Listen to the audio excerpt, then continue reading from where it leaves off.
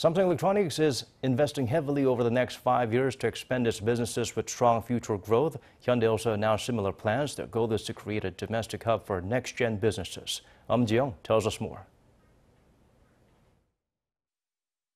South Korean tech giant Samsung Electronics has announced hundreds of billions of dollars of new investment over the next five years in areas that promise strong future growth.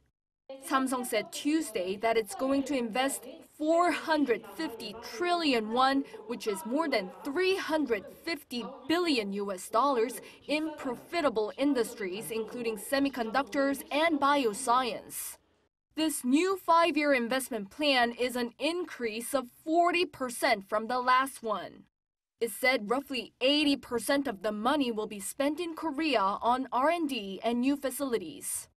The firm said that if Samsung's foundry business were to become the world's number one player, it would have an economic effect on the scale of creating a conglomerate even bigger than Samsung Electronics.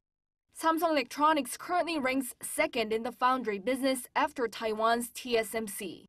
Also, the company added it plans to hire 80,000 new employees and sees the investment leading to the creation of more than a million jobs more broadly.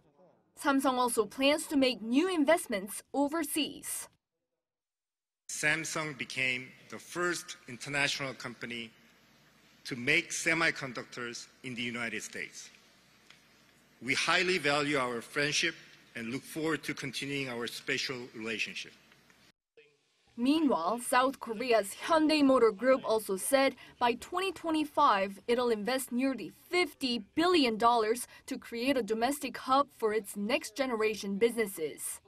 The auto giant plans to spend some $13 billion to secure a global competitive edge in electric and eco friendly cars. Also, for the development of robotics, urban air mobility, and artificial intelligence, the company has allocated roughly $7 billion. An expert says the government should ease regulations for the investments to come to fruition. There have been a lot of uh, regulations and restrictions that's going to be hampering you know, investment in Korea. So uh, in order for that investment plan to be come into fruition, I think the government has to take a lot of dramatic measures in deregulations and innovative reformation in government policy. Eum Ji-young, Arirang News.